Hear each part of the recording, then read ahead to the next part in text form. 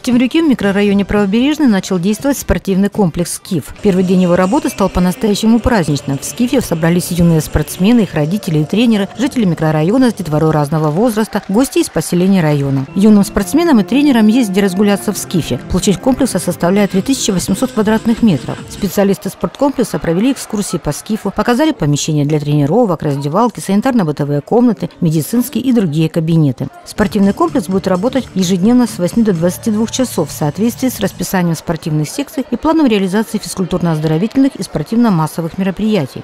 Здравствуйте. Я житель правобережного, я пенсионер, это моя внучка. Да. Уже лет пять ходим сюда, ждем, пока откроют. Ну, теперь открыли. Скажите, будут нас сюда пускать? Плата это будет для нас посильная или нет? Э, Плата будет посильная, но у вас есть, э, если желание заниматься спортом, зачем вам платить за это? Детские спортивные школы муниципальные зайдут сюда бесплатно. Э, То есть они по заявке, скажем так. Спортивная школа подает заявку, привязывает к своей группе тренера, мы их наделяем э, временем и э, инвентарем и территорией. Они на ней занимаются.